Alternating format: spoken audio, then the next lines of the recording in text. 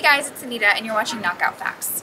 So, did you know when a mosquito bites you and starts sucking your blood, it's also simultaneously urinating on you?